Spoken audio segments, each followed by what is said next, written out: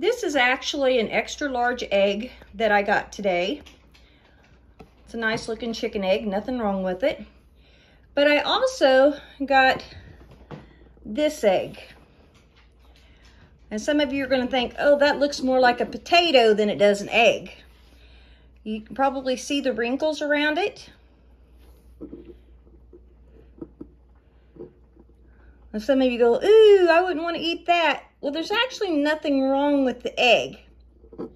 What has happened is the chicken that laid this had a hard time laying it.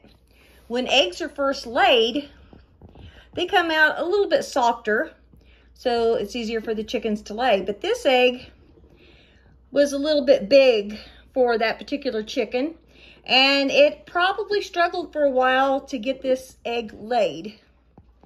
I don't know which chicken it is, but there's a chance that she could at some point get one stuck. And if I don't know it, it could actually kill the chicken.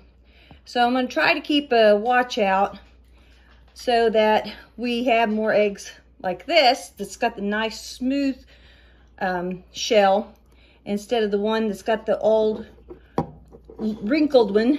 like I said, it kind of reminds me of a potato the way it looks. But this egg will be fine on the inside. It doesn't change anything at all.